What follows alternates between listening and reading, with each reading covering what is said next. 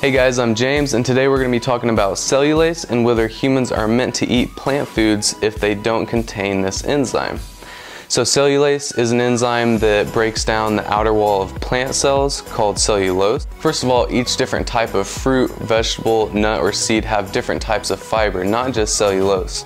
Now while this is true that humans don't contain the enzyme cellulase, it doesn't really matter because the bacteria in our mouth and our gut contain cellulase.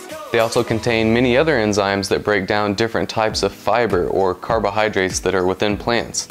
In fact, one certain type of bacteria in our gut named Bacteroides uh, has genes that code for over 260 different enzymes that break down different types of fibers. Sure, some people may contain more of these cellulase producing bacteria within the gut, but our microbiome changes on a daily basis based on what you're eating. So if you're eating a consistent food type, then the bacteria that favor that food will increase in numbers.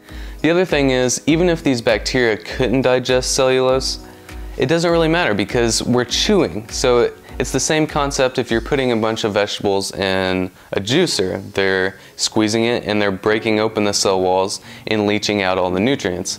So this still isn't a very good argument against eating plant foods. Uh, our digestive tract is 30 feet long and so that's a pretty good indicator that we are designed to digest plant material as opposed to pure carnivores who have a much shorter digestive tract.